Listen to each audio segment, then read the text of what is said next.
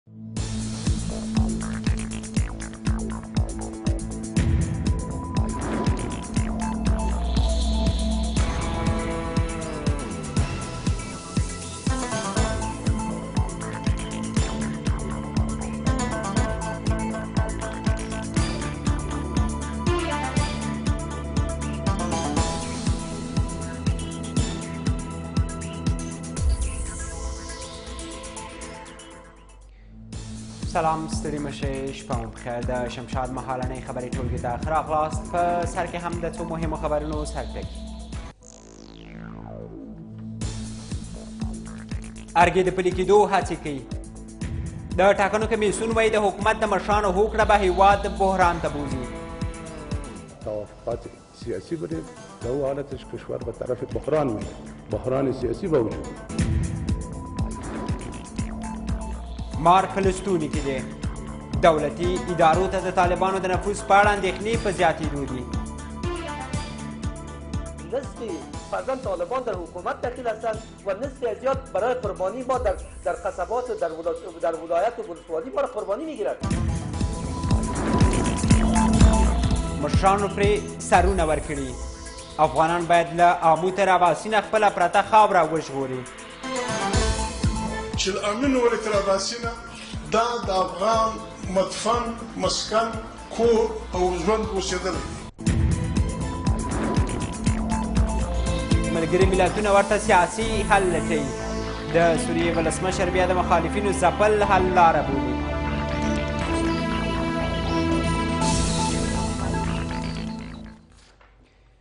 اوس هم بشپړ خبرونه د ټاکنو په اړه د ولسمشر او اجرایي رئیس د هوکړې پلي کېدل هېواد د سیاسي کړکېچ تل ته کېباسي د ټاکنو خپلواک کمیسیون چارواکي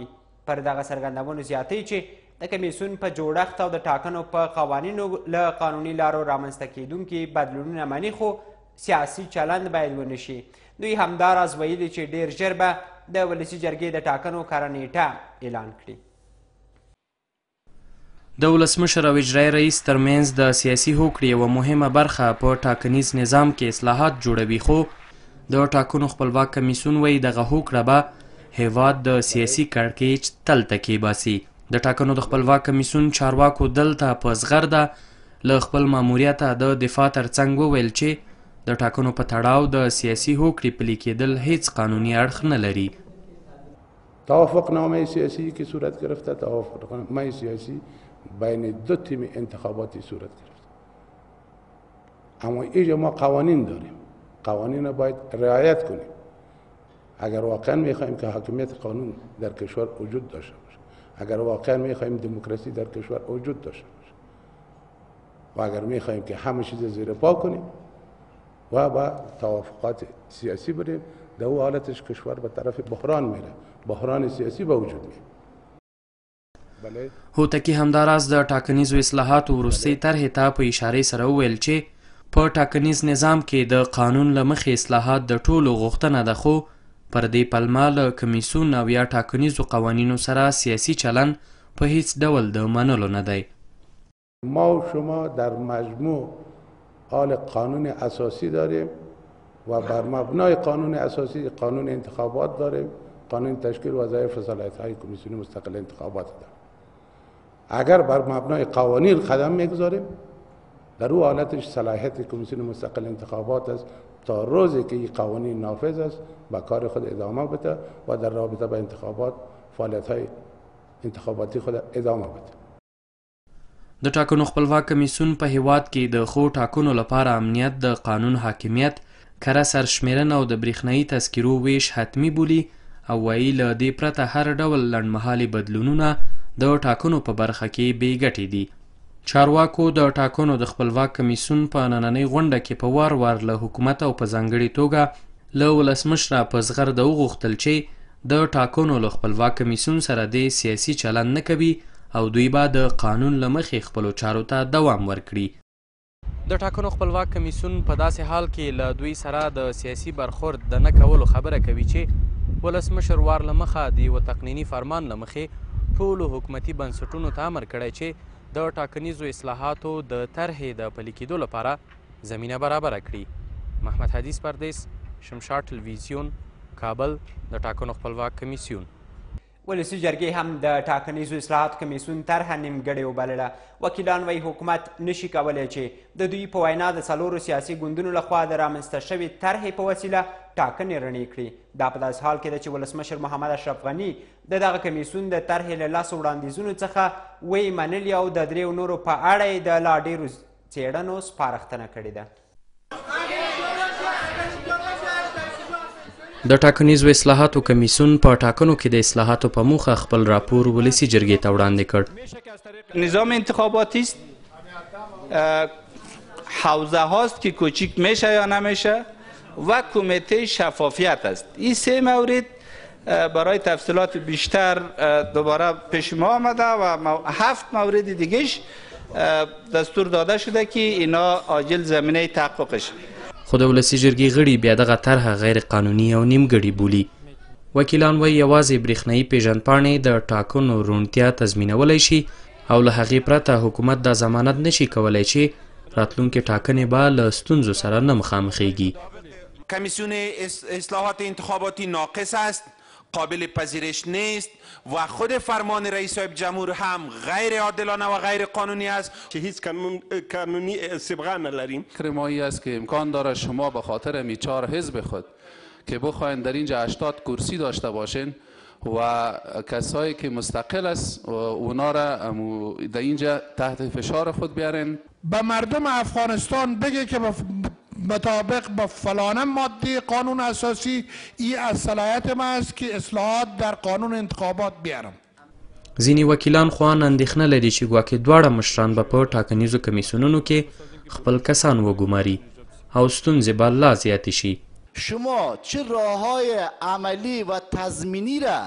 به خاطر از اینکه دوباره با این مشکل ما مواجه نشیم شما دارین شما رو پیشنهاد کردین کمیته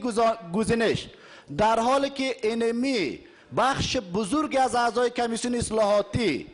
بگونی دخیل در این انتخابات بودند آیا اینها میتونند بگونه بیطرفانه قضاوت بکنند؟ راه نجات رای اصلی امو تذکره الکتروکیز امو تذکره برقیز که بر اساس از او هم رای میشه هم تعداد معلوم است هم مشخص است هم رای تقلب و هم رای مفسده ای که در کن است خلاص میشه وړاندې د ټاکنیزو اصلاحاتو کمیسیون دوو غړو هم جوړه شوې طرحه نیمګړې بللې وه دوی ادعا کړې وه چې دغه طرحه د ځانګړو سیاسي ګوندونو په خوښه جوړه شوې ده له امو نیولې تر اباسینه د پرتې خاورې مالکان پښتانه افغانان دي د پښتونخوا ملي عوامي ګوند مشر محمود خان اڅکزی وایي د هر پښتون افغان مسؤلیت دی چې له امو تر اباسینه خاوره وژغوري اڅکزي چې په کوټه کې د پښتو نړیوال سیمینار ته خبرې کولې ویل افغانانو ته دا سیمه چا په خیرات نه ده ورکړې بلکې په قربانۍ او سرخندونه یې ګټلې او ساتلې ده د پښتونخوا ملي عوامي ګوند مشر محمود خان اڅکزی په کوټه کې د پښتو نړیوال سیمینار ته ویلي له امو نیولې تر اباسینه د دغې سیمې مالکان پښتانه افغانان دي او هیڅوک دي د پښتنو افغانانو د ویشلو هڅې نه کوي یو خبره به موږ واضح کوو په دې کې څوک خپه کېږي خپه دي سي اشتیا به وایو چا ته به سپکې نه کوو چا ته به ښکنځل نه کوو لومړۍ خبره دا ده چې له امین ولې تر اباسینه دا د افغان مدفن، مسکن، کور او ژوند اوسېدلی دی. اڅکزی وايي دغه سیمه چا پښتنو ته په خیرات کې نه ده ورکړې بلکې د خپلو اتلانو په سرښندونو یې ګټلې او ساتلې ده اڅکزی وايي اوس د هر پښتون دنده ده چې له امو تر اباسینه خاوره وژغوري دا وطن موږ دې قام ته دلته میشت ولسونو ته چا په زکات کې نه دی راکړی دا زموږ ولسونو معلومو او نامعلومو غازیانو، معلومو او نامعلومو شهیدانو د سر په سودا ساتلي دي. نوموړی زیاتوي چې افغان پښتانه ترهګر نه بلکې امن غوښتونکي دي. د اڅکزي په وینا پښتون افغان په تاریخ کې ترهګري نه ده کړې او اوس یې هم یوازې هغه کسان ترهګر بولي چې نه غواړي افغانان سوکاله ژوند ولري. د هیرو ډوټس نه نیولې د سکندر یوناني ته مورخ شو بیا که چاینبي دي که نور د نوي زمانې مورخین دي هیڅ مورخ دا نه دي لیکلي چې پښتون افغان په تاریخ کې کله هم دهشتګرد اوسېدلی د پخواني ولسمشر حامد کرزي په ګډون ګڼ شمېر نورو سیاسیونو او شنونکي هم پر دې باور دي چې د ترهګرۍ پر ضد د مبارزې په نوم روانه جګړه پر پښتنو تپل سوې ده او د سیمې او نړۍ استخباراتي کړۍ پکې خپلې ګټې لټوي سیاسي ګوندونو د هیواد په پوځي او ملکي ادارو کې د طالبانو د نفوذي کسانو په موجودیت اندېښنه وښوده د سیاسي ملي ګوندونو او مدني بنسټونو ګډې خونې د یو پریکړه لیک په خپرولو له حکومته د هغو کسانو د مخنیوي غوښتنه وکړه چې له حکومتي امکاناتو په ګټې اخیستنې د وسلهوالو ملاتړ کوي دوی همدا ډول له حکومته وغوښتل چې د ترهګرۍ پر وړاندې روانې مبارزې بڼه بدله او هڅې ګړندۍ کړي که له یو پلوه د هیواد امنیتي سرتیري د دولت د وسلوالو مخالفینو سره په جګړه بوخت دي نو له بلې خوا د هیواد په ملکي او پوځي ادارو کې د وسلوالو مخالفینو د نفوذي کسانو د ډېرېدو په اړه اندېښنې هم مخ پر ډېرېدو دي د سیاسي ملي ګوندونو او مدني بنسټونو خونې د یوه پریکړه لیک په خبرولو سره له حکومت وغوښتل چې د هغو کسانو مخه دې ونیسي چې وسلوالو مخالفینو ته وفادار دي د دغې خونې چارواکو که څه هم د کومې ځانګړې ادارې نوم وانخیست خو زیاته یې کړه حکومت باید د هغو کسانو مخه ونیسي چې حکومتي امکانات د وسلوالو په ملاتړ کاروي مبارزه در مقابل تروریزم داعش و طالبان مسلح سه مبارزه در مقابل مافیا و زورمندان چار مبارزه در مقابل انواع فساد و فساد پیشگان پنج تصفیه ادارات ملکی و نظامی از وجود افراد نفوذی دشمن امروز فرزند قرب... کسانی که ما را قربانی میکنند اون طالبان هستند و ما باید این را بگوییم که نصف فرضا طالبان در حکومت دخیل هستند و نصف از یاد برای قربانی ما در, در قصبات و در, در ولایت و ولسوالی ما را قربانی میگیرند اینجاست که ما ملت باید منسجم شویم دوی همدا ډول پر ولسمشر او اجرایي رئیس په نیوکې سره ویل چې د یو کال په تیریدو سره هغه ژمنې نه دي عملي کړي چې د ټاکنیزو کمپاینونو پر مهال یې کړې وې جناب دکتر سیب عبدالله و جناب دکتر سیب اشرف غنی رهبری حکومت وحدت ملی را دارن اینا برنامه های سیاسی داشتن چی شد و برنامه های از او که ما اینجا گفتیم که مطابق از او عمل کنن اینا تعهدات سپردن بر احزاب سیاسی بر نهادهای مدنی و اجتماعی که باید عمل میکردن چی شد او تعهداتش د ترهګرۍ پر ضد مبارزې لپاره د نوو میکانیزمونو جوړول د اداري او اخلاقي فساد پر وړاندې جدي مبارزه د بېوزلۍ او بېوسۍ د له منځه وړلو په موخه هڅې او کار اهل کار ته سپارل د دغو سیاسي ګوندونو نورې مهمې غوښتنې وې په ننګرهار کې د داعش ملاتړ نیغ په نیغه پاکستان کوي افغان چارواکي وایي پاکستان وسلوالو ته زمینه برابره کړې چې پر ډیورن کرښه وسلې راواړوي او په افغانستان کې جګړه پر مخ یوسي اخوا کارپوهان وایي افغانان یوازې په یووالي د دغې ستونزې مخه نیولی شي له څو میاشتو راهیسې په ننګرهار کې د طالب او داعش ډلې ترمنځ بریدونو ګڼ ملکي کسان ووژل او ډیری کورنۍ یې د ویر په ټغر کېنولې ګڼ قومي مشران په بمونو والوځول شول او ډیری کورنۍ له خپلو سیمو بېځایه او له ستونزو ډک ژوند تېروي پوښتنه دا ده چې افغان حکومت ولې د ملکي وګړو په ساتنه کې پاتې راغلی او وسلوال له کومې لارې تمویلیږي هغه پلونه د مرکزونو ته خوش کړی د پاکستان د طرفه نه پوه شوې او اتیا کچره ورځنه سامان مهمات سره روان دی د کورنیو چارو وزارت هم په ډیورن کرښه خپل نیمګړتیاوې مني خو نیوکه یې دا ده چې ګواکې پاکستان نیغ په نیغه داعش ته د وسلو د رالیږدولو زمینه برابره کړې متاسفانه هنوز هم ما مشکل خود در مرز داریم هنوز هم در کشوری که در مجاورت افغانستان است فرصت ها مساعد میشه برای تروریست ها که این اکمالات خود از اون سوی مرز بکنن چارواکي د امنیت په ټینګښت کې د پاکستان همکاري مهمه بولي خو کارپوهان بیا حکومت د ډیورن کرښې په اوږدو کې پراته ولس ته د نه پاملرنې له کبله ګران بولي تعهد کشور پاکستان در این راستا این تعهد صادقانه پاکستان در امر مبارزه با تروریسم در این راستا نیاز داریم دغه سرحد چې 2000 څو کیلومتره دی همدا د قبایل خلکو همدغه سرحدي خلکو په اصطلاح دغه سرحد ساتنې ولې پاکستان هغه وخت کې دغسې سپین سترګي نه کوله چې سرحد کې هم خپلې پیسې وچلوي هم تا ته مسلح کسان راړي شنونکي وایي افغان ولسونه په یووالي کولی شي چې د وسلو د راوښتلو او په هیواد کې د جګړې مخه ونیسي چې څو دې وطن کې یو واقعي اتحاد یو والی را نشي او واقعي یو انقلاب را نشي دا وطن د دې مشکلاتو نه خلاصون په ننګرهار کې د داعش او طالبانو ترمنځ جګړه له څو میاشتو راهیسې پیل شوې خو کارپوهان د افغان حکومت له لوري د جګړې نه مهارول د وخت نه د دوی د ګټې اخیستو په معنا بولي د دوی په ان وسله وال که له یوه لوري کلک بهرنی ملاتړ لري خو تر څنګ یې په کور دننه د تښتولو او تهدید په مټ مالي امکانات ترلاسه کوي خو د جګړې قرباني بیا عام خلک او قومي مشران ورکوي په ننګرهار کې یو شمېر دیني عالمان وایي پاکستان ښه ګاونډی نه دی دوی د ملي یووالي له حکومته غواړي چې دغه هیواد ته د نور د دښمن په سترګه وګوري په ختیځ کې د دیني عالمانو د ټولنې مشر مولوي محمد یونس همداراز د پاکستان د پوځ پر ضد جهاد روا وباله.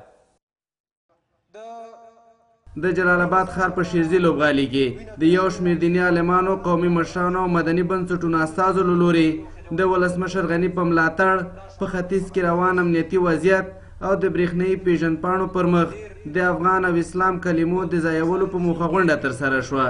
یو شمېر دیني عالمانو له شمشاد سره په خبرو کې ویل، تر دې وروسته د پاکستان پر پوځ جهاد روا دی. څنګه دوی وايي چې افغانستان کې جهاد دی، نو موږ هم افغانان یو، موږ هم دا ویلی شو چې پاکستان په پوځ باندې جهاد دا شرعي عمل دی او ښه کار دی. چې هغوی دلته د جهاد اعلان کوي او د آی ایس آی په اشاره باندې د هغوی علما د دې فتواګانې ورکوي دا فتواګانې د اسلام خلاف ګڼو په ختیځ کې د علماو ټولنې مشر مولوي محمد یونس وایي ګاونډي هیواد پاکستان نه غواړي چې افغانان آرام ژوند وکړي او د افغانستان سوله خوښونکي وژني چې دلته یو نظام هم پاکستان نه غواړي مخکې طالبانو نظام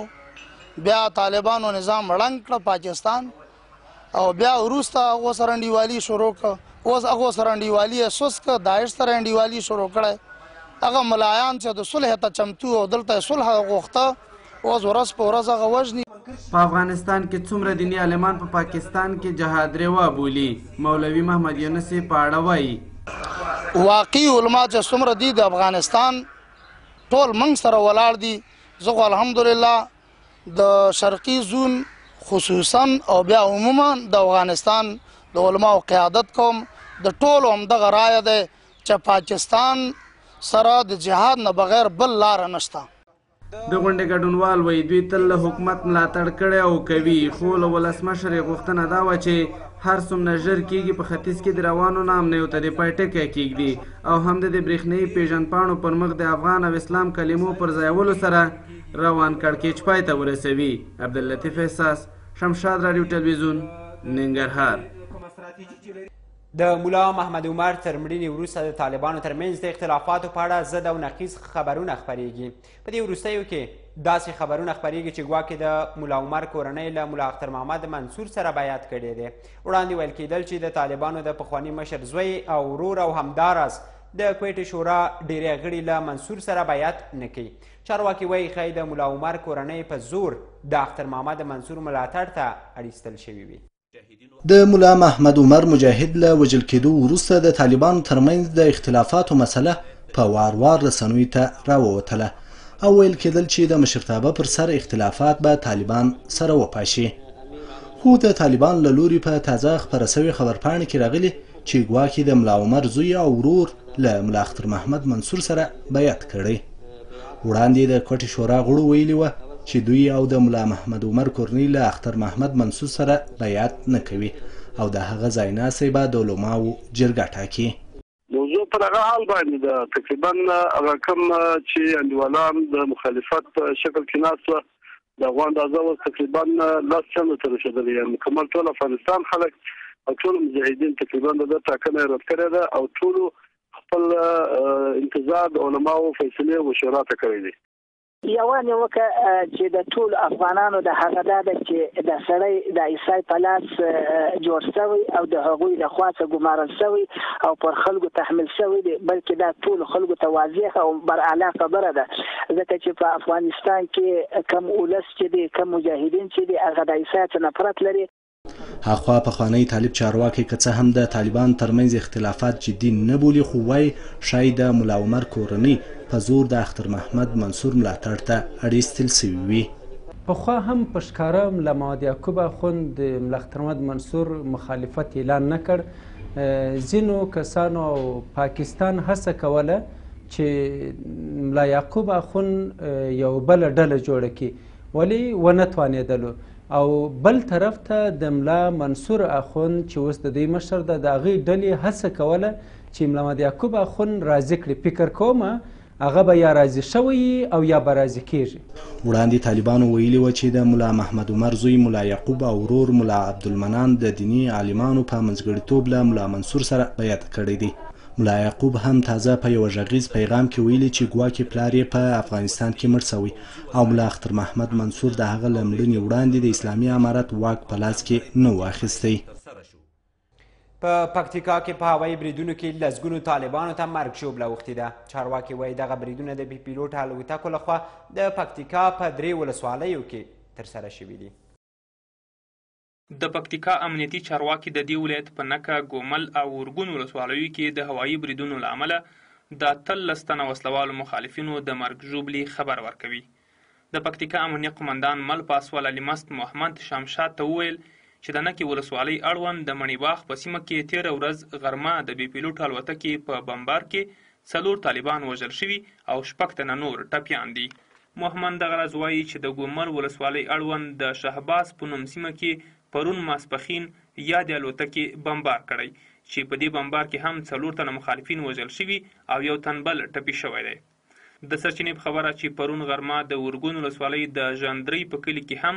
په وسله والو مخالفینو د یادې الوتکې له لوري بمبار شوی او درې تنه طالبان په کې وژل شوي دي. د مهمند په خبره چې یاد بریدونه له دوی سره په هماهنګۍ ترسره شوي دي. د هوایي ضربې په نتیجه کې څلور تنه مخالفین مړه شوي دي او شپږ تنه نور زخمي شوي دي. همدارنګه په ګومل ولسوالۍ کې په درې بجې او پنځه ویشت دقیقې یوه بله ضربه هوایي په دښمن وارده شوې ده چې په هغې کې څلور تنه مخالفین د منځه تللي دي. وسله والو طالبانو تر اوسه د یادو پېښو په اړه څه نه دي ویلي. امنیه قوماندان همداراز وايي چې تېر ماخوستن د جانيخېلو ولسوالۍ اړوند د شاتورو د کلي د سیمه ییزو پولیسو پر پوسته د وسله والو طالبانو له لوري برید ترسره شوی. هغه وايي چې د برید په پایله کې شپږ طالبان او دوه تنه پولیس وژل شوي او اته تنه طالبان او شپږ پولیس ژوبل دي. د جانيخېلو په ولسوالۍ کې بېګاه د شپې په لس بجې او لس دقیقې دښمن زموږ یوه پوسته ده چې د شاتوري په نامه یادېږي په دغه پوسته باندې د خنجکیو په خوا کې په لس بجې او په لس دقیقې باندې برید وکړ. بلخوا د وسلهوالو طالبانو د ویاند ذبیح الله مجاهد له لوري شمشاد ته په یوه رالېږل شوې خبرپاڼه کې په یاده جګړه کې د اووه تنه سیمه ییزو پولیسو د مرګ ژوبلي او په بشپړ ډول د پوستې د له منځه وړلو ادعا شوې. د یادونې ده چې په دې وروستیو کې د پکتیکا په ولایت کې امنیتي پېښې زیاتې شوې دي. محمدالله همتیار،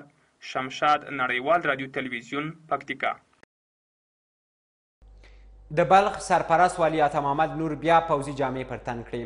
هغه له دوه ورځو راهیسې په چمتال او چاربولک ولسوالیو کې د چاڼیزو عملیاتو مشري کوي، خو د بلخ د ولایتي شورا رئیس محمد ابراهیم خیرن دې شک څرګندوي چې دغه عملیات دې لاسته راوړنې ولري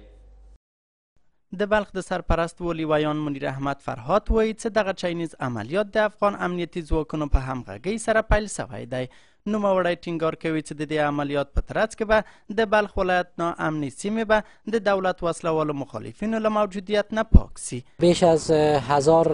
نفر نیروهای امنیتی در عملیات اشتراک دارند که متش... قبلا خدمتان عرض کردم که شامل تمام نیروهای امنیتی در ولایت بلخ است و فعلا که ما با شما صحبت میکنم ولسوالی چمتال تحت پوشش عملیات قرار داره و روز گذشته ولسوالی چاربولک بود خو د بلخ ولایتي شورا مشر محمد ابراهیم خیراندیش بیا وایي چې د امنیت ټینګېدلو لپاره یوازې دا نه ده چې چینیز عملیاتونه وسي پکار ده چې د ښه حکومت دارۍ او د اداري فسادو د لمنځه وړلو او همدارنګه د عدالت ټینګېدلو لپاره باید کار وسي کارایی که مشکل مردم افغانستان حل میکنه تنها عملیات نیست او این بزرگایی که در رأس قدرت از اینا عدالت کنه اینا برادری کنه اینا زمینه تفاهم و صلح و مصالحه اینا به وجود بره تنها عملیات روی حل نیست مردم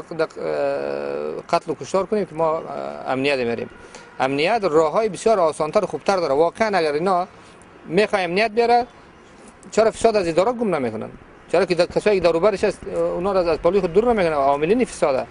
و راه های بسیار خوب وجود داره که امیدوار هستم راه های دیگر ما بتونیم سراغ بزنیم که څه هم له دوه ورځو نه را په دې خوا د بلخ ولایت په ناامنو سیمو کې چاینیز عملیات پیل سوي خو ولیدل سي چې دغه عملیات به کوم لاسته راوړنه ولري او که نه عبدالمتین سحاک شمشاد تلویزیون بلخ که د فاضله موادو صنعتي پارکونو او زراعتي ځمکو اوبه کنټرول نشي نو د کابل تر ځمکې لاندې اوبه به پر زهرو بدلې شي چارواکي وایي په خپل سر د څاګانو کیندل او د اوبو د کنټرول لپاره د پالیسۍ نشتوالی د دې لامل شوی چې په کابل کې تر ځمکې لاندې اوبه کمې او ککړې شي ناپاکې اوبه په کابل کې د ناروغیو او د فصلونو د سوځېدو ستر عامل بلل کیږي کابل ښار د افغانستان پلازمېنه د خلکو له نظره چې دلته به د ژوند هر ډول اسانتیاوې پوره وي خو خلک د نورو ستونزو سره سره د پاکو او صحي اوبو د نه شتون څخه هم سر ټکوي دوی وایي چې دوی ته یې ډول ډول ناروغۍ پیدا کړي دي دوی له دولته په دغې برخه کې د جدي مرستې غوښتنه کوي اوش ملوث است ایت قابل ایت قابل دیگه خفتید مجبور است که بخوریم مردم بیچاری مردم ها در مابین مترای خود بوشکار پر میکنن بوشکار خالی میگیرن عین است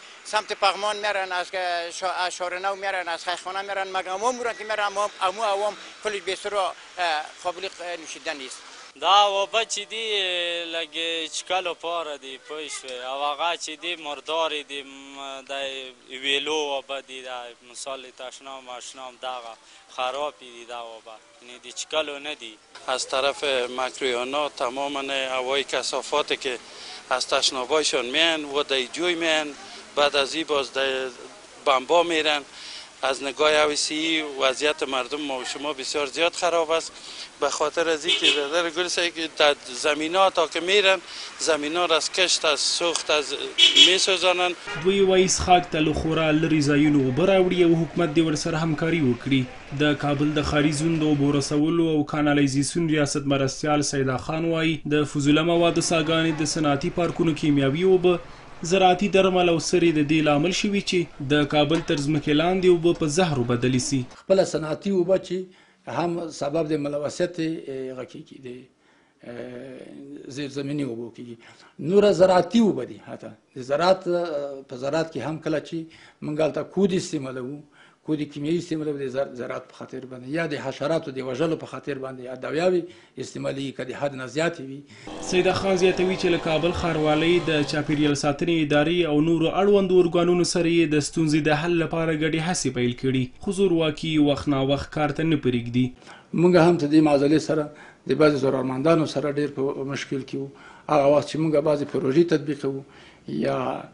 دونران د هغو سره په ډېر په مشکل سره غوي داسې شوي دي چې یوه ورځ دوه ورځې زمونږ کار د چای سپتیک په خاطر باندې یا څو ورځې د چای سپتیک په خاطر باندې چې هغه به تخریب شي او پایپ هلته تیر شي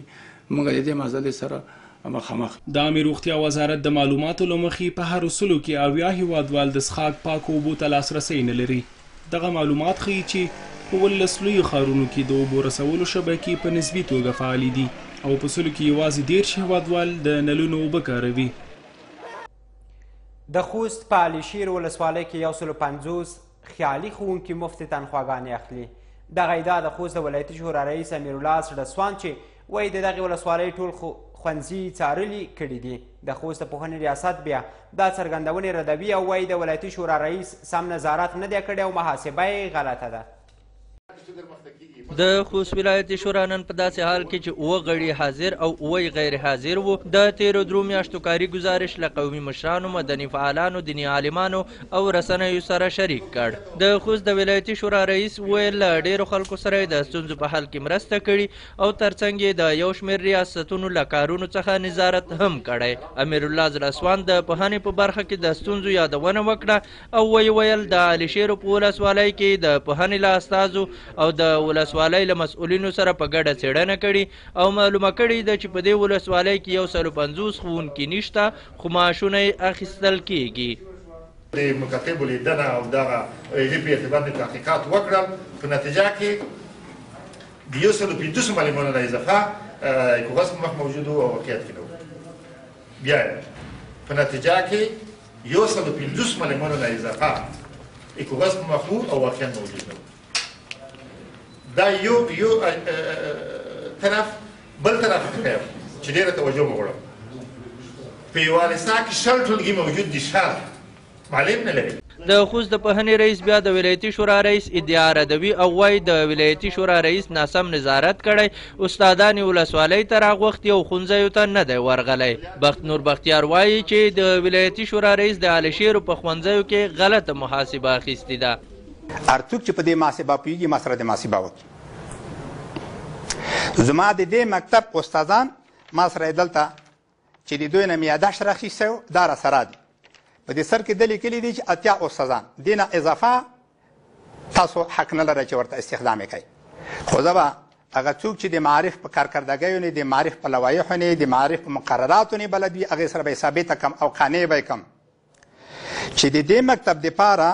فکس پنځه اتیا نفره معلمین پکار دي. د خوست ولایتي شورا غړي مني چې په ځینو برخو کې دوی هم ستونزې لري، خو وایي چې هڅه کوي د خپلو نیمګړتیاوو د هواري ترڅنګ د خلکو ستونزې حل کړي او له دولتي ادارو څخه جدي څارنه وکړي.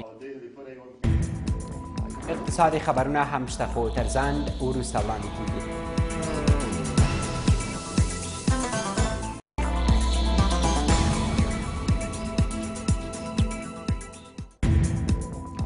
ستړي مشي اوس هم اقتصادي خبرونه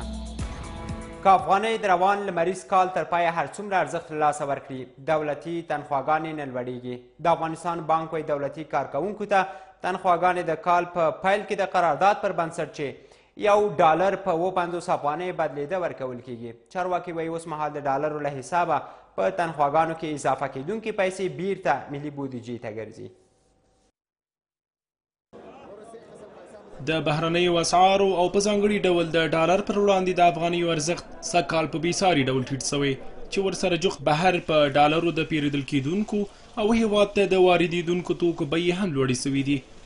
د امنیتي او نورو دولتي او نادولتي ادارو کارکوونکي چې لا هم تنخواګانې د ډالرو د پخوانۍ بیې له قراره اخلي، په دې اړه شکایت کوي، خو د افغانستان بانک وايي، که ډالر هر څومره لوړ شي، د دولتي کارکوونکو تنخواګانې به پر خپل ځای وي.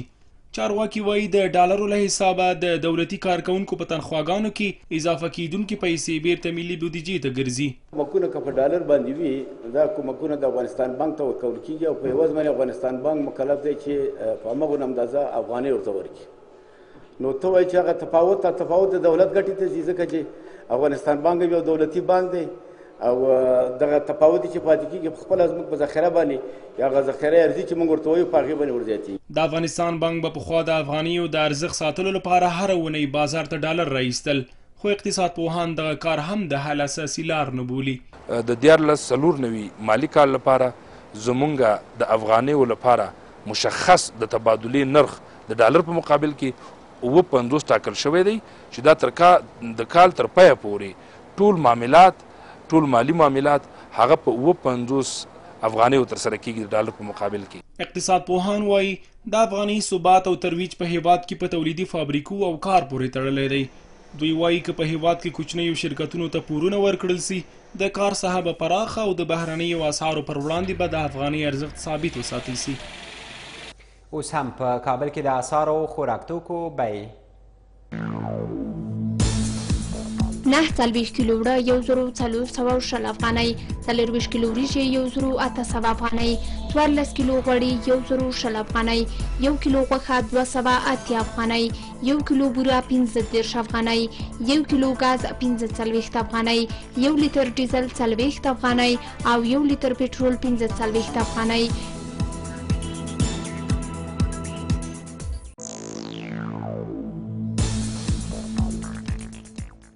یو امریکایي ډالر پیرودل درې شپېته افغانۍ نوي پولا پلورل څلور شپېته افغانۍ یو ایرو پیرودل یو اویا افغانۍ اتیا پولا پلورل دوه اویا افغانۍ یو پاونډ پیرودل اووه نوي افغانۍ پلورل اووه نوي افغانۍ شل پولا یو د سعودي ریال پیرودل شپاړس افغانۍ نوي پولا پلورل اوولس افغانۍ د اماراتو یو درهم پیرودل اوولس افغانۍ دېرش پولا پلورل اوولس افغانۍ څلوېښت پولا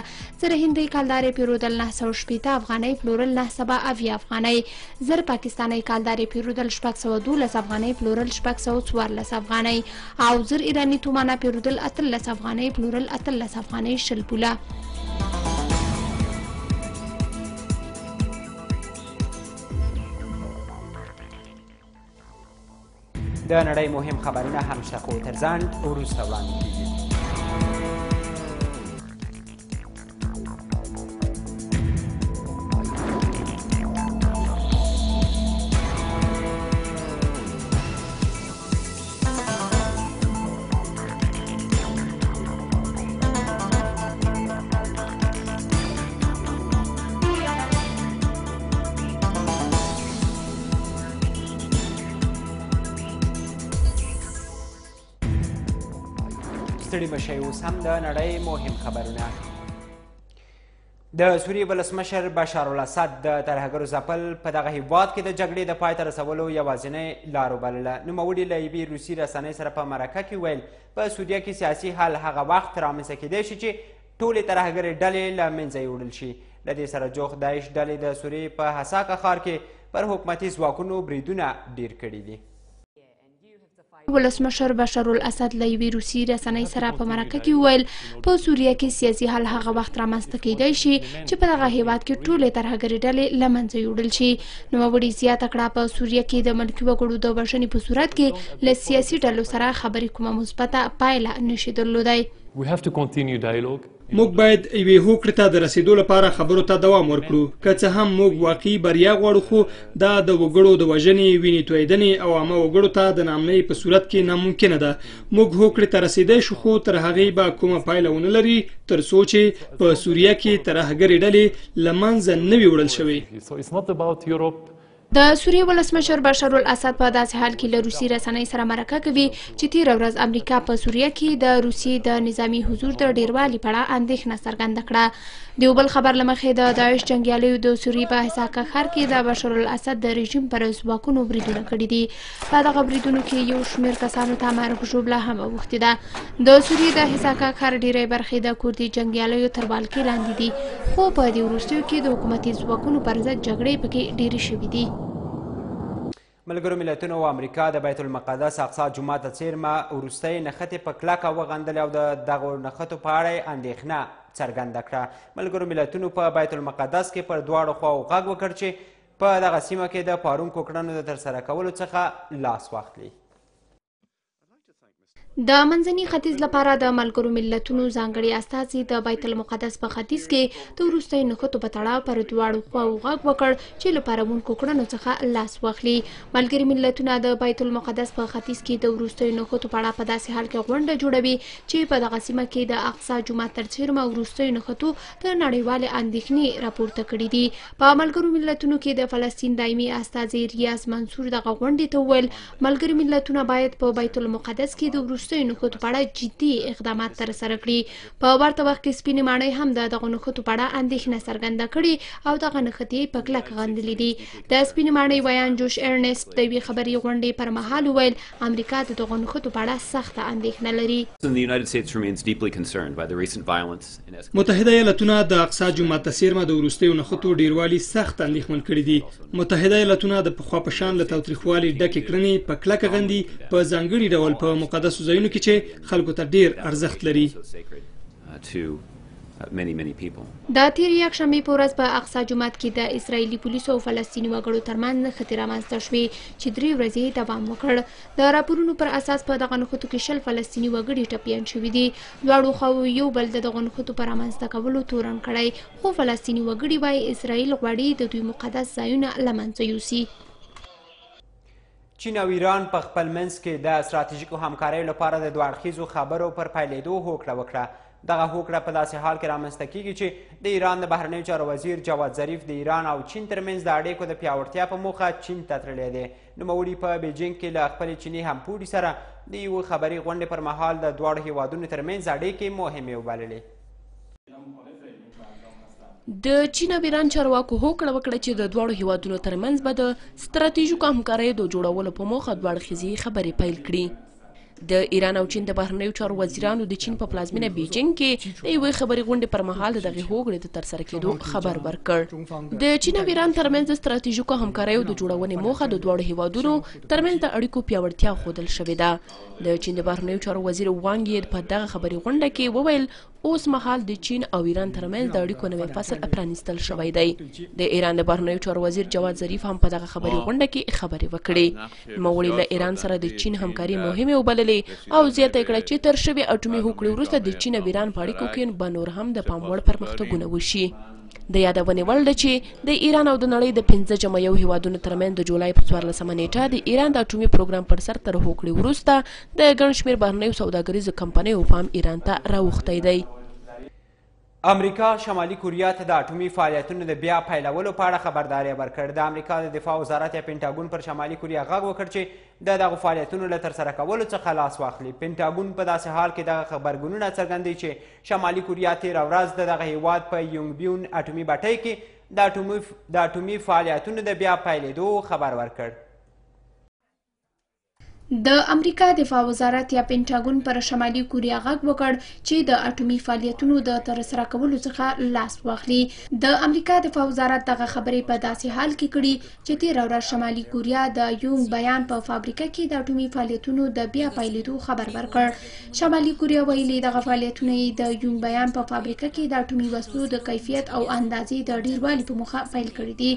د پینټاګون ویاند پیټر کوک یوې خبري غونډې ته وویل په کوریا کې د روان حالت څخه د امریکا څارنه دوام لري موږ د کوریا له روان حالت څخه څارنه کوو موږ د کوریا له جمهوریت سره په اړیکه کې یو زموږ متحدین هلته له کوریا څخه د دفاع لپاره ژمن دي موږ په دې اړه وروستۍ پارونکي خبرونه ترلاسه کړي دي او فکر کوو چې دا یوازې اختلافونه نور هم ډیروي موږ پر پیونګیانګ غږ کوو چې له هغو کړنو څخه لاس واخلي چې په سیمه کې د سولې او ثبات لپاره ګواښ وي شمالي کوریا په دوه زره اووم کال کې د یونګ بیان فابریکې اټومي فعالیتونه بند کړي وو، خو په دوه زره او دیارلسم کال کې شمالي کوریا له امریکا سره د اختلافونو د ډېروالي له امله اعلان وکړ چې په یونګ بیان فابریکه کې به اټومي فعالیتونه پیل کړي. د یادونې وړ ده چې د یونګ بیان فابریکه په شمالي کوریا کې د اټومي وسلو د جوړولو تر ټولو لویه فابریکه ګڼل کېږي. د جرمني او اتریش مشرانو له اروپایي ټولنې څخه په راتلونکې اونۍ کې د کډوالۍ د کړکېچ په اړه د بیړنۍ غونډې د جوړېدو غوښتنه وکړه د جرمني لومړی وزیر انګلا میرکل وویل په اروپا کې د کډوالو کړکېچ یوازې د ټولو اروپایي هیوادونو په ګډه همکارۍ حل کېدای شي میرکل همداراز د جرمني له هغې پریکړې څخه دفاع وکړه چې پر بنسټ یې دغه هیواد د کډوالو د بېسارې ورتګ په اړه پر خپلو پولو کې محدودیتونه لګولي دي جرمني او اتریش په داسې حال کې د کډوالۍ د کړکېچ په اړه د ځانګړې بیړنۍ غونډې د جوړېدو غوښتنه کړې چې وړمه ورځ د دغه کړکېچ په اړه د اروپایي ټولنې د کورنیو چارو وزیرانو غونډه پرته له کومې پایلې پای ته ورسېده سپورتي خبرونه هم شته خو تر ځنډ وروسته وړاندې کیږي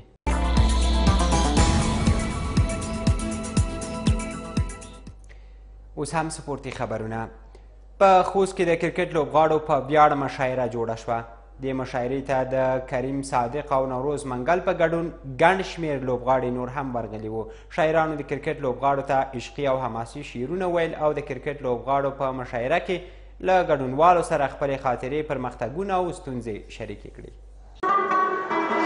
په خوست کې د کرکټ د اتلانو په ویاړ مشاعره تر سره شو مشاعره تیر شپه جوړه شوې و او د کرکټ مشهور لوبغاړو نوروز منګل شفیق الله شفق هستی ګل عابد او نورو لوبغاړو برخه پکې اخیستې و په مشاعره کې د حماسي او عشقي شعرونو ترڅنګ د لوبغاړو د ستاینې شعرونه هم وویل شول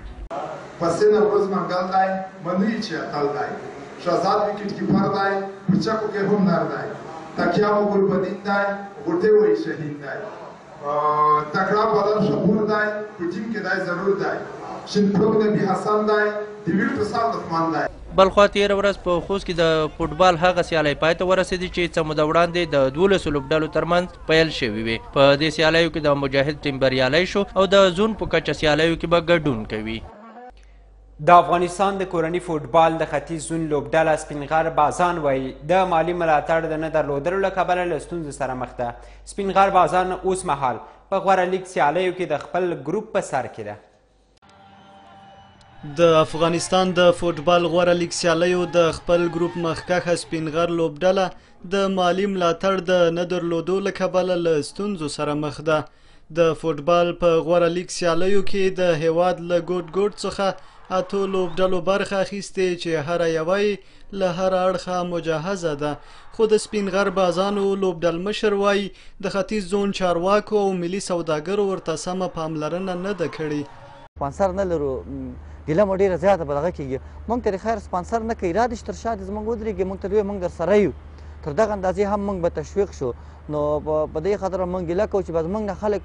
خلک مونږ ته دغه راکوي پیغور راکوي چې تاسو ولې نتیجه نه اخلي مونږ به نتیجه په څه واخلو په غوره لیګ سیالیو کې که څه هم د تیر ځل په پرتله د سپین غر بازان لوبډله ښه ځلیږي او د خپل ګروپ په سر کې ځای لري